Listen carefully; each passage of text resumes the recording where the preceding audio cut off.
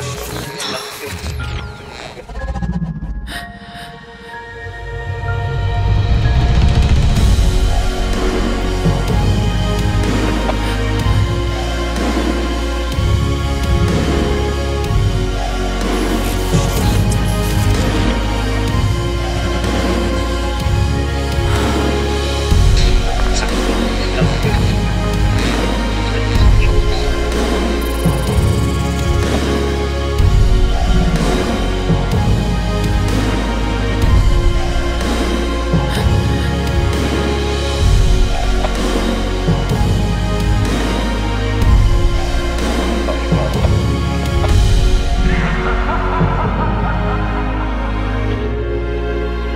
Toy 2, the new fragrance from Moschino.